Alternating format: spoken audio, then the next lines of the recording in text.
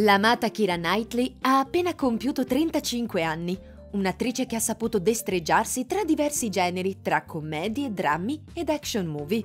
Come regalo di compleanno abbiamo deciso di regalare alla bella Kira la sua personale top 10, composta naturalmente dalle sue migliori performance. Prima di iniziare non dimenticatevi di iscrivervi al nostro canale YouTube e attivare la campanella delle notifiche per non perdere nessuna novità targata Movie Player. In Ennesima trasposizione cinematografica del celeberrimo romanzo di Tolstoi, Anna Karenina vedeva la Knightley nei panni della romantica e sfortunata Anna, rinchiusa in un matrimonio triste e stregata dalla corte insistente di un nobile. Nonostante la critica in generale a suo tempo sia stata tiepida, tutti furono concordi nel definire l'interpretazione della Knightley di altissimo livello capace di dare alla sua Anna Karenina un incredibile fascino, ma soprattutto di renderne in modo assolutamente perfetto il dibattersi tra il dovere e la passione, tra paura e desiderio.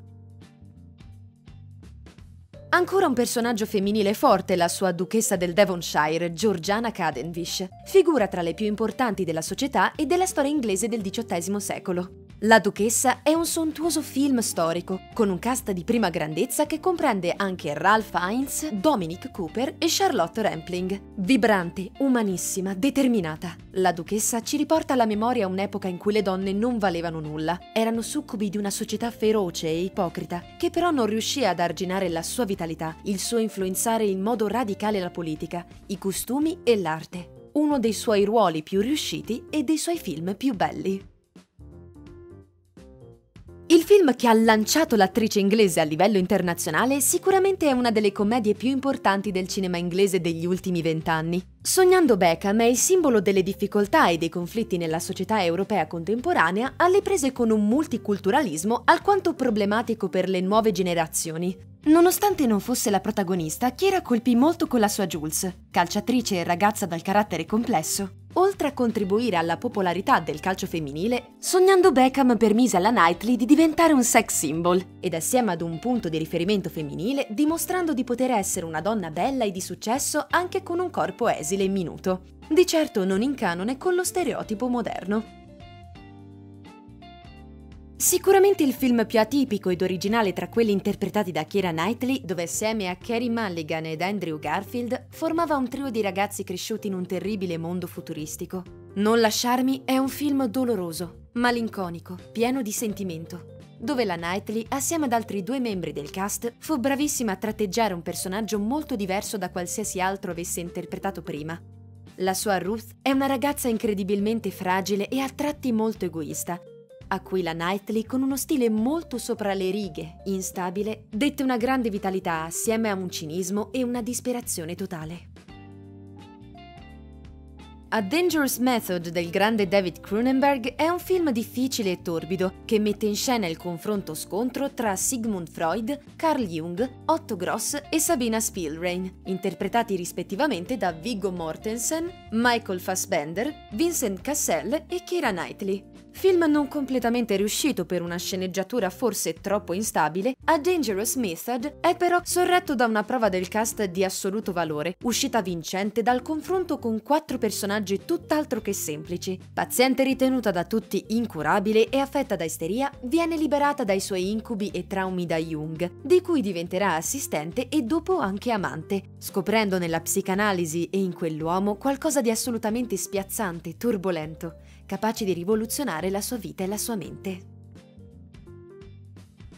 La nostra Kira si trova bene a vestire i panni di donne forti ed emancipate, ed anche questa pellicola non fa eccezione. Sidonie Gabrielle Colette, in arte solo Colette, fu la penna femminile più rilevante dell'inizio del XX secolo. Artista tutto tondo, capace di destreggiarsi nel teatro, autrice, critica, giornalista, sceneggiatrice, esperta di moda e di cosmetici. Colette è uno dei migliori film storici degli ultimi anni, scevro da ogni trionfalismo quanto piuttosto incentrato su un percorso di crescita personale, di presa di coscienza da parte della protagonista, che troppo a lungo vive ignorando la realtà e il suo talento, e a cui la Knightley ha saputo conferire intensità ed un grande coraggio.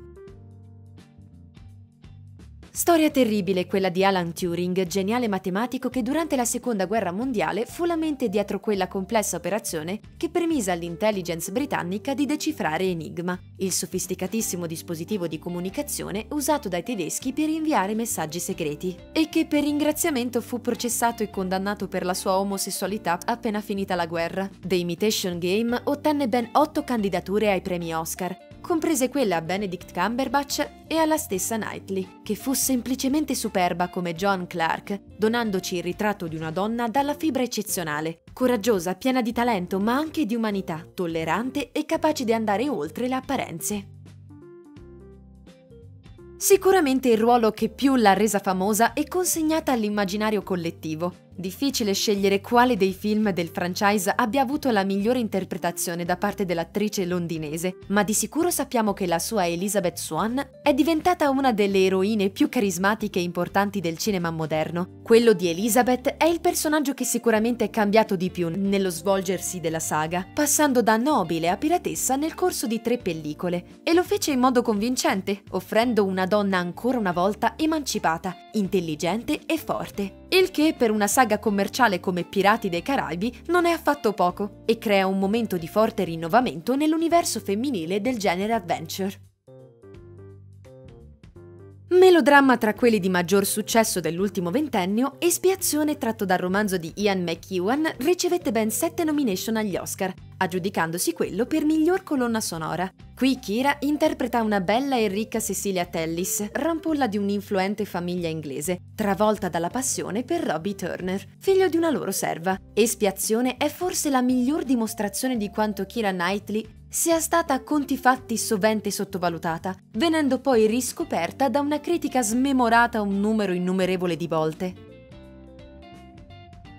La sua migliore interpretazione senza ombra di dubbio, il suo film più importante e che allo stesso tempo le ha permesso di diventare il simbolo di una sferzante critica alla società borghese ed assieme ode all'amore e al libero arbitrio. Pimpante, mutevole, naturalissima. Un'Elizabeth Bennet così deliziosa che anche Jane Austen ne sarebbe stata orgogliosa. Keira Knightley fu celebrata per la sua performance a dir poco incredibile, che le fece guadagnare una nomination agli Oscar dimostrando in modo inequivocabile che era molto più che una diva delle teenager. Persino il Guardian arrivò ad elogiarla, sostenendo che la sua performance era la migliore di sempre in quel ruolo. E noi siamo d'accordo con i colleghi britannici.